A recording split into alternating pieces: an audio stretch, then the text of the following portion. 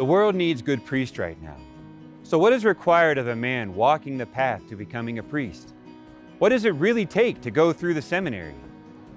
Hi, my name is Father Jason Wallace, and today I'll introduce you to a few of the men who are walking the path to the priesthood at the Archdiocese of Denver. So let's meet them together and find out the answers to these questions and much more. What are you most excited about looking forward to your priesthood? I'm excited to be with the people at the most important moments of their lives uh, weddings, funerals, baptisms, and everything in between. I'm excited to be Christ for the faithful.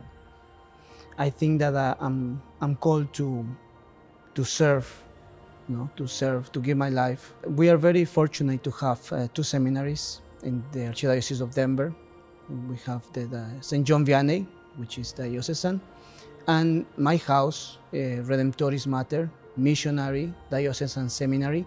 My senior year of college, um, I really felt the draw to the priesthood, that the Lord wanted me not to live this normal life, but to live a life for Him. I'm incredibly blessed to be surrounded by a 100 other seminarians on my path to the priesthood, where we'll be spending seven to nine years in formation.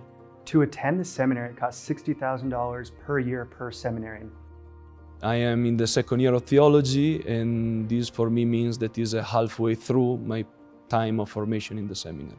Becoming a priest, I'm, I'm looking forward to meet the people, to encounter especially the youth, to bring a, a word of hope for them, because somebody brought a, a word of hope for me.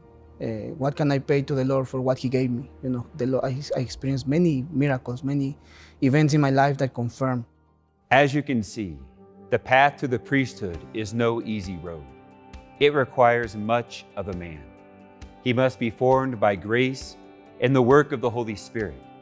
He must be tested spiritually and emotionally. He must be educated intellectually. These men that you have just met are only a few of the men passionate about becoming your future priest and willing to lay down his life for his friends. They need your support. Please make a donation today. I just wanted to thank you guys so much for your donations, and I wanted to ask for your continued prayers, and I want you to know that we are praying for you. Please make your gift today. Thank you.